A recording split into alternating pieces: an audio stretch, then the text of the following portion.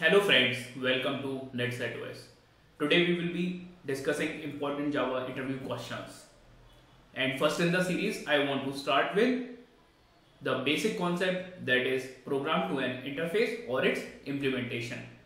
The question seems to be small, but it's a tricky one and it is important in many design pattern videos. Let's start what we are trying to say and what answer you can give to your interviewer. So the first question arises, why we should program to an interfaces and not to its implementation is very simple. We want our code to be flexible. So suppose there is an Ola app that you already know. It already have car rental service integrated in its app. But suppose they want to add bike rental service also or they want to add some other rental services also so their code must be flexible enough to accommodate all those things with minimal number of changes. So that's why we create interfaces or abstract classes so we can implement all our code towards the interfaces or abstract superclasses. So first thing first is why we should be programmed to an interfaces not implementation because we want things to be flexible. So we are knowing like for making things flexible we are integrating to an interface not to an implementation. But how can we make it happen? So for making it happen what we have to do? So we will make a set of classes whose entire reason for living is to represent a behavior. And it's the behavior class rather than the main class that will implement the behavior interface. So earlier what the behavior came either from the concrete implementation in the superclass or by providing the specialized implemented implementation in the subclass. But now what we will do, we will make set of classes whose entire reason is to represent a behavior only. And what are the drawbacks of implementing it in concrete implementation or specialized implementation is a subclass that we log into using that specific implementation and there was no room for changing that behavior. Let's see what I am saying with the help of a UML diagram. So here as you can see I have a interface or a abstract superclass animal. So you can make it as interface also or it can be a abstract superclass also. Instead of asking dog and cat to specifically bark or meow. Or it can be a another implementation also like for duck. Like it can also make some sounds. So you can make it flexible also. So instead the dog cat or a duck will not directly bark meow or make any sound or it will take help of the animal interface and start making sound with the help of animal class only. So in this way we are flexible enough so that the bark or meow will not be a concrete implementation in a subclass. So let's open our Eclipse editor for this. So first what we will do, we will just create a new class and or a, you can make it an abstract superclass also or you can make it as an interface also. So we will create an interface here and make the name as animal.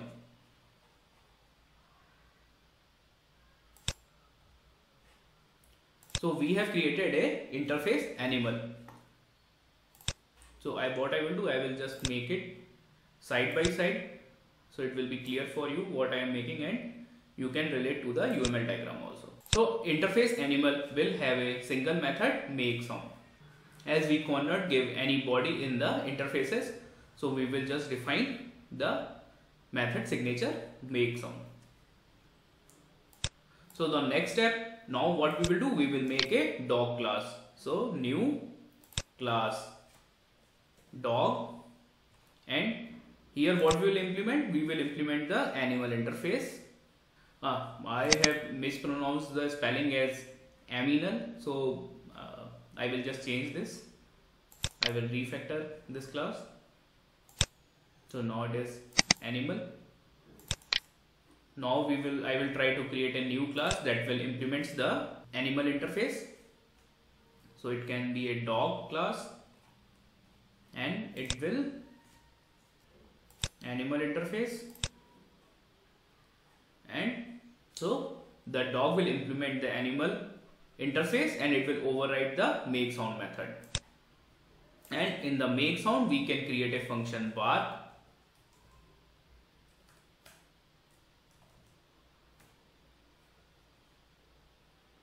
and now we can give the body to bark method also public static void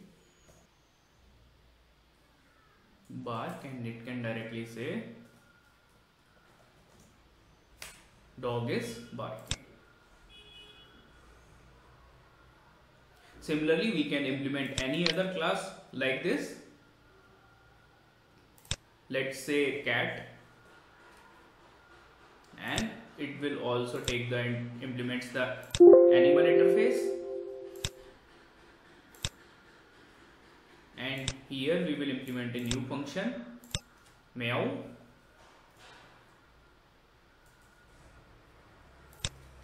And we will now try to give the body here.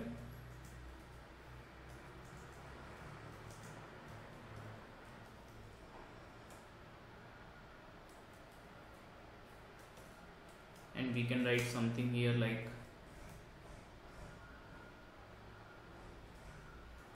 the cat is making sound meow so what is the purpose of implementing this interface and then dog class or cat class? So suppose if I want to add a new type of sound so I will just make a separate class say pig also and I will just add the interface animal here and finish it. And I will just say the sound that pig produce might be Mimi or Vivi and then I will just Mimi and then so in this way what I have done I have separated all the dependencies outside the animal interfaces and only the implementing classes like dog or cat are making sound example so I will just create a new main class. Let's name it zookeeper. So what do we mean by a concrete implementation? So suppose if I want a dog to bark and what do we mean by concrete implementation? So dog d is equals to new dog and then we say d dot bark. So let's see whether it is working or not and we can check it. So we are saying dog is barking. But in this type of coding, what is a the we are concreting its behavior. So the flexibility is very less. So dog only knows the bark method only. And if we want to enhance anything, then we have to change all those things in the bark method. Instead of it, what we can do? We can program to an interface or we can program to a super type also. So how it can be achieved is instead of dog we will use animal a is equals to new dog and then it does not care how it barks whether it barks whether it meow or whether it whatever it wants to do we will just say a dot make sound. And I will just not okay let's run this program and check whether it is able to bark or not.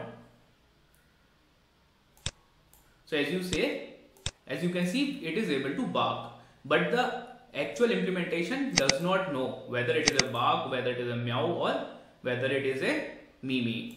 So we will check it with one more example. Animal A is equals to new cat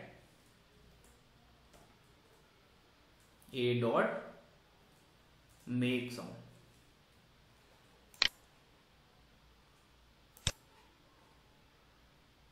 okay some error is there okay let's call it a1